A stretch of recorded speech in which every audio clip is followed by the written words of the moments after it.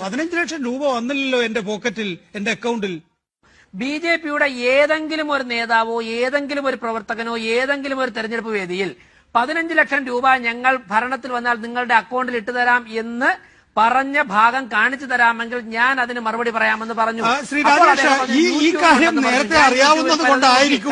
അങ്ങനെ ഒരു ക്ലിപ്പിംഗ് ഞങ്ങളുടെ അടുത്ത് എത്തിച്ചിട്ടുണ്ട്. അത് ഞാൻ പ്ലേ ചെയ്ത് കാണിക്കാം. കാര്യങ്ങളൊക്കെ കൈവിട്ട് പോയല്ലോ തിരുവട്ടമാ സാറിന് ടോയ്ലറ്റ് പോകാൻ പറ്റുന്നുണ്ടോ ഫേസ് വല്ലാണ്ടിരിക്കണു आए ना तो भी हिंदुस्तान के एक एक गरीब आदमी को मुफ्त में पंद्रह बीस लाख रुपए यूं ही मिल जाएगा कितने रुपये നരേന്ദ്രമോദിയാണത് നികേഷ് അത് നരേന്ദ്രമോദിയാണ് അദ്ദേഹം എന്താ പറഞ്ഞത് മോദിയുടെ ഗ്യാരണ്ടി പറയണം അദ്ദേഹം എന്താ പറഞ്ഞത് എന്താ പറഞ്ഞത്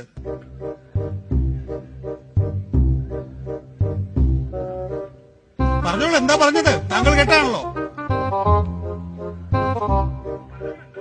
അല്ല ഈ ഞാൻ പറയാം ഈ ക്ലിപ്പിംഗ് അദ്ദേഹം കൊണ്ട് നിങ്ങളെ ഏൽപ്പിക്കുമെന്ന് അറിഞ്ഞുകൊണ്ട് തന്നെയാണ് ഈ ചോദ്യം ഞാൻ പറഞ്ഞു ചോദിച്ചത്. എന്താണ്?